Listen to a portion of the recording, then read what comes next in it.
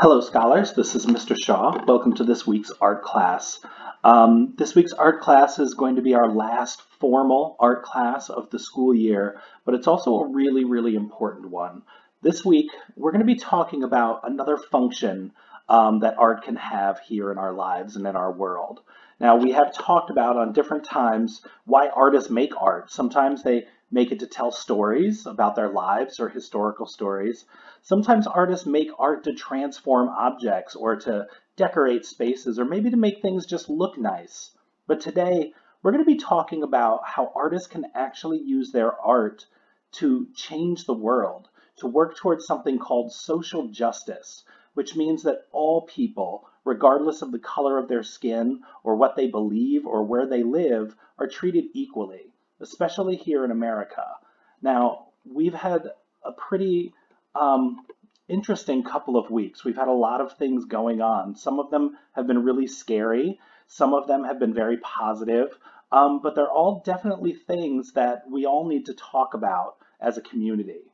Now, you may have seen things that are on the news, or you may have talked about these things with your families. And if you haven't already, I highly recommend you take the time to do that um, and do that in a safe and positive way with the people that you love. But what I want to talk about today is one of the things that I've been seeing a lot while I've been watching the news and while I've been trying to support my community. And I noticed that a lot of times people are using words and images to help educate people who need to open their minds and who need to think differently about the state of our lives here in America. Now, a big part of the Black Lives Movement is protesting. And a lot of times these protesters create signs or they paint words so that they can get their messages across. And this is not a new thing in history. In fact, it's something that artists have been doing for hundreds of years. Here are some examples of works of art over the last 300 years uh, here in America and across the world and these are different ways that artists have tried to educate others about equality or educate others about dangerous things or harmful things. In the middle here, we see a painting by one artist that we've studied a lot at the Henry Johnson Charter School. It's an artist whose name is Horace Pippin, and he painted this picture in 1943. That was uh, about he, or I'm sorry, um, about 80 years ago, actually. And we can see in this image a lot of the same types of images and same types of ideas that we're talking about right now in the year 2020. This picture is called Mr. Prejudice. And Horace Pippin was a black artist who felt very strongly about the way that black people were treated differently, especially in the 1940s than white people. And there was a big difference in the fairness and equality in the way that black people and white people were treated. In this image, the way that it's split down the middle is showing that in a very, very clear way. And even though there are people here on the white side of the image trying to reach out and shake hands with people here on the black side of the image, Horace Pippin was trying to tell us that there was a problem, and it was a problem that we needed to speak about. Almost a hundred years ago, a Spanish artist by the name of Pablo Picasso tried to educate the people in his country about the dangers of war. In New York City in the 1980s, an artist named Keith Haring tried to educate people about a disease called AIDS that was killing a lot of people. In modern times, an artist, uh, he's a street artist whose name is Banksy, and he uses graffiti art to educate people about racism, and homelessness, and other issues that affect his community. Even 300 years ago, when our country was first being founded, one of our founding fathers, Benjamin Franklin, used images and used artwork to say that if the original 13 colonies in America didn't band together, if the people of America didn't work together towards a common cause, that cause wouldn't be able to come to life. So as artists, as Americans, as just citizens in our community, we have to find ways to enact a positive change. We want to make sure that we're educating people, that we're showing them a way that we can live peacefully with each other. Now, you might be thinking to yourself, Mr. Shaw, I'm just a kid. What can I do to change anything? Well, this week, while I was educating myself, about some of the things going on in our country, I came across this wonderful, wonderful news report about a young man named Keedron Bryant and his mom. Now, Keedron uh, is just a kid like you. He's 12 years old, but he has a talent in music. And instead of just sitting home wondering about what he could do, he took something he was good at and he and his mom wrote a song together. And I'd like you to take just a couple of minutes and watch this news report. Um, it was on CNN recently. And take a look at how he took something bad that's happening in the world, turned it into something positive, something that he could use to educate other people, and then spread it out into the world so that his positive message can inspire others to create change. You know, in addition to asking questions, there are also some amazing children that are using their voices to make their messages heard. That's right, Van. Like my friend Keedron. He, he wrote a powerful song with his mom, Janetta. Let's take a listen.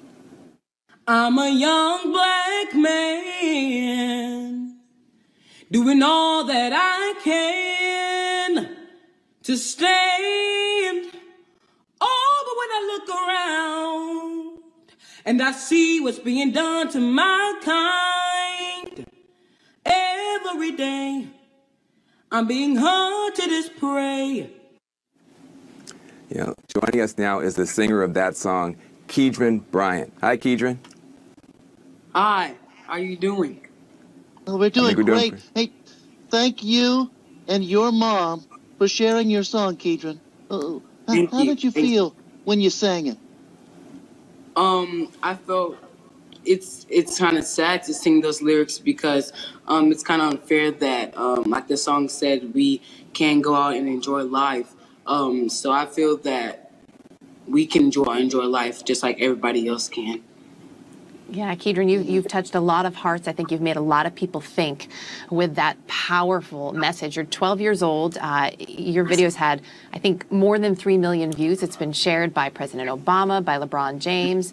How does it feel knowing that your voice has impacted so many people?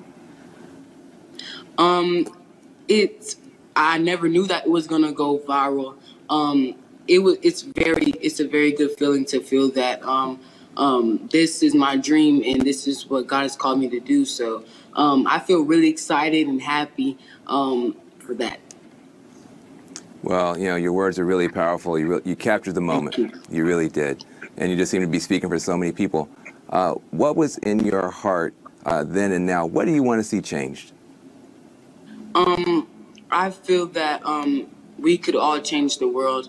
Um, I want to see change in the racial the racial profiling. We could all be equal. Um, we could all go out and enjoy life and not be afraid um, that something's going to happen to us. So I feel that we could all um, live life. Well, Keedron, you are such a good reminder of the power of young folks, young voices, and we're counting on your generation to work with us to make things better. What message Thank do you have for young people who might be having a tough time right now? What do you want to say to the young people?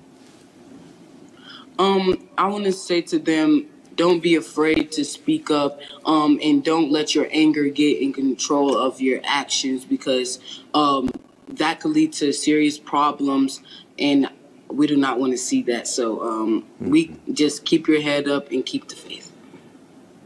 Keedron, uh, You know, really. Keedron, Oh, I, I just wanted to say something. I just wanted to say to Keedron, what an inspiration you are. And I'm so Thank grateful Thank to be able to hear your song and your voice. Thank you, Big Bird.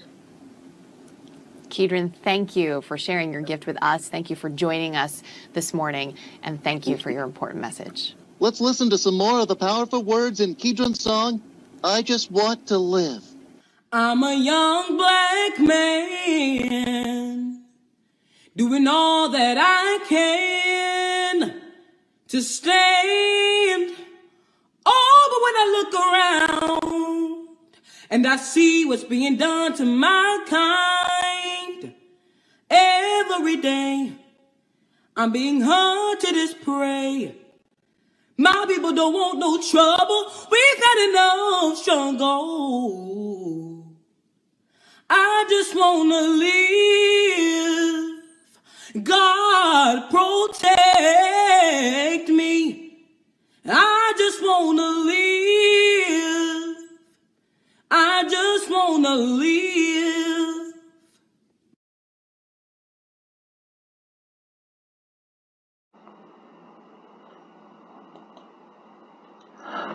I hope you enjoyed that as much as I did when I watched it. Um, but now we have to talk about what we can do. So one artist that I wanted to show you is an artist whose name is Shepard Fairey. Now, he's an artist uh, whose artwork you may have seen before. Uh, his most famous work is a picture he painted in 2008 of President Barack Obama while he was running for office, with a very simple image of the future president and the word hope. Now, over the past few years, he's continued in a very positive way, painting people who have used their talents to change their communities and to change the world, and to use art to create social justice, to try to change the world in a positive way. Here, we can see three portraits of people. Now, this first one is a man whose name is Ishmael Nazario. And he started a program called Performing Statistics that allows young people in his city to create art to express themselves instead of having to express themselves in negative ways. His program has actually kept a lot of young people out of jail over the past few years. So he was featured in this painting by Shepard Fairey as a positive way to use your talents and to use your energy to enact a positive change in your community. This is a painting of a woman whose name is Amanda Gorman. Now, her talent was writing, and she took her talent in writing and her love of writing and used it to create a group called 826 National that helps young black authors publish their books and to get their voices out there so that they can spread positivity and change in their communities.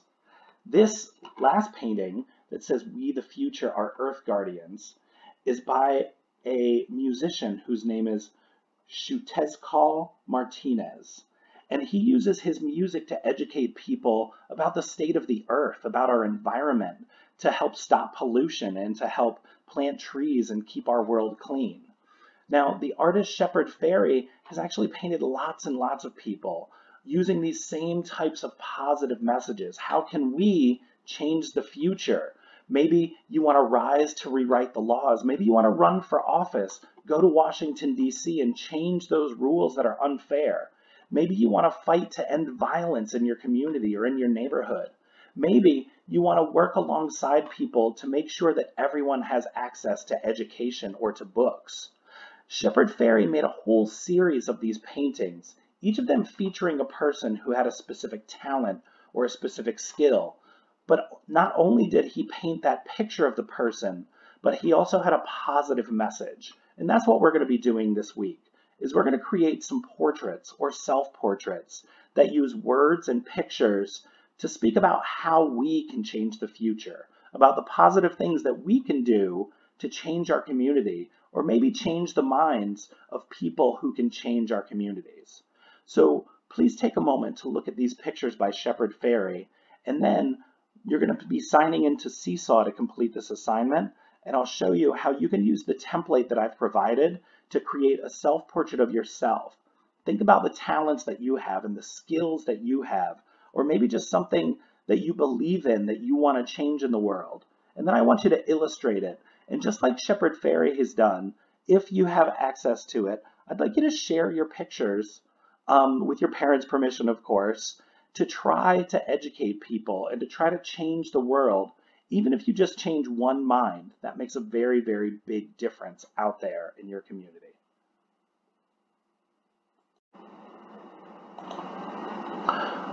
So when you're looking for this assignment in Seesaw, it's called Art Social Justice. As always, you're going to add your response, um, find your name. I'm using my fake student, Guinea Pig. And you'll see that the very first page that I give you in your template says, I can change the world by, and then it has a picture frame. And that picture frame is where you're going to be drawing a picture of yourself. Now, it could be you as a scholar, as a kid, doing something that you enjoy or something that you're good at just to help change the world in a positive way. Or if you'd like to draw your future self, Maybe one day you want to grow up and be the mayor of your city, or maybe the president of the United States. That's perfectly fine. Maybe you want to be a musician one day and you want to write music that changes people's minds about equality and fairness and how to change the world in a positive way. Now, if you don't have any ideas or if you're struggling to think of what you could do, over here on the right, you'll see that there's a second page. And if you click on that second page, you can see just a list of ideas that you can use to enact change in the world. It says writing books about my thoughts. Maybe you're a good writer, that's a skill you have and you'd like to use it like that. You could draw pictures to educate others. You could just speak out when you see problems. You can become a leader and change the law. You could write a letter to your city leaders and you can ask them why they make the decisions they make and maybe suggest to them some better and more fair decisions for laws in your state or in your city or even in your country. You can stand by people who are mistreated. You can protect the weak. You can treat others with kindness. You could write or sing a song about your feelings. Or you could just try to change people's minds when they were wrong. Sometimes a conversation can make a lot of change. It seems very small, but if you change one mind, they'll change another, and then they'll change another, and eventually your whole community can start to change. So when I'm starting my picture here and I'm thinking about how I can change the world, um, one of the ways that I do that, or one of the ways that I try to do that, is by educating you, my scholars. Um, I'm a teacher, and that's something I enjoy doing, and I hope that some of the things I teach you can help you be a little wiser and a little stronger when you go out there into the world. So I'm going to use my typing tool and I'm going to type, uh, I can change the world by teaching the future leaders. Now, after I type that, I want to go back and check. Uh, I want to make sure I have a capital T at the beginning. I want to make sure, uh, oops, my period's not going there. It has to go here at the end. And then if I click outside of that box somewhere, I can actually change the shape of it and I can drag that down to the bottom of my picture. Uh, I can either have it in my picture like this or down here. And then I want to draw an image that matches my sentence, that matches that skill that I've um, that I've talked about. So I'm just going to draw a picture of me teaching you. It's been a long time since we've been in the classroom together. And it doesn't have to be a picture of something that's happening right now. It could be something that you've done in the past, or it could be something that you want to do in the future. Now, it's going to take me a little while to color this, so I'm actually going to speed up my video a little bit, and then at the end, I'll pause it. I'll let you take a look at this, and I want you to reflect on what is something that you're good at, or something you're talented in, that you would like to use to change the world, because even a little change can make a big difference.